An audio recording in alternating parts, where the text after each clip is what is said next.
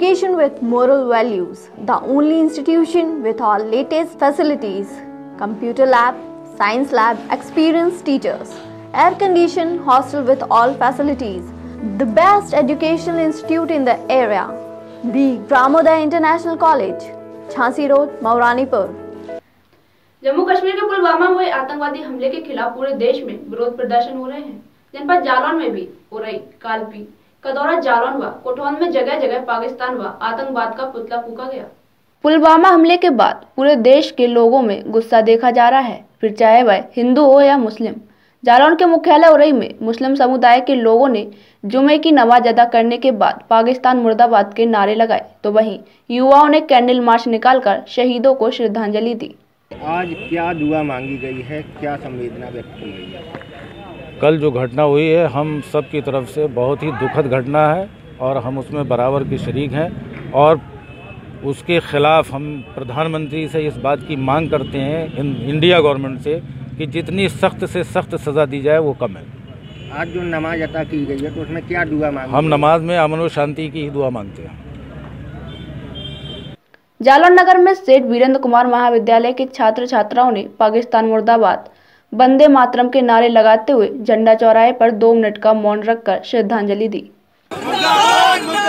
पाकिस्तान मुर्दाबाद मुर्दाबाद पाकिस्तान मुर्दाबाद मुर्दाबाद पाकिस्तान मुर्दाबाद मुर्दाबाद पाकिस्तान मुर्दाबाद मुर्दाबाद पाकिस्तान मुर्दाबाद मुर्दाबाद पाकिस्तान मुर्दाबाद पुतला आप लोगों ने किसके विरोध में जलाया?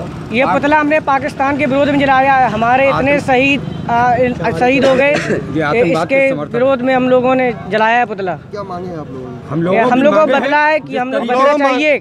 हम लोगों को शहीद हमारे जितने शहीद हुए हैं उनका बदला चाहिए हम लोगों को। तत्काल। तत्काल चाहिए बदला। कालपी के मुख्य टर्ननगंज चौराहे पर भी पाकिस्तान का पुतला जलाकर पाकिस्तान के खिलाफ नारेबाजी की गई।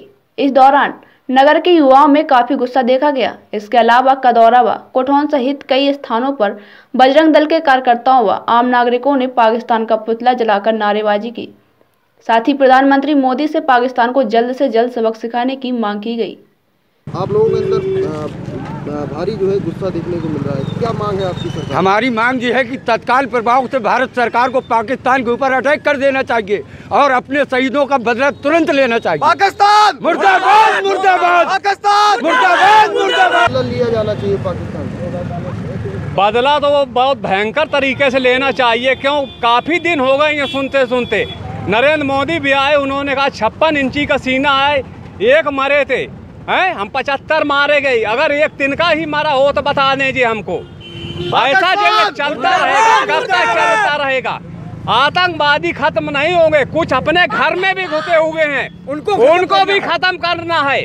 और खींच खींच के मारना है। जितने जो पार्टी अलग अलग कर रखे हैं इन्हीं में ऐसा कोई है जो घुसपैठी बना रखा है। इनको भी खत्म करना है तब वो खत्म होंगे। जालौन से दीपू तिवारी के साथ शिवांग शुक्ला की रिपोर्ट।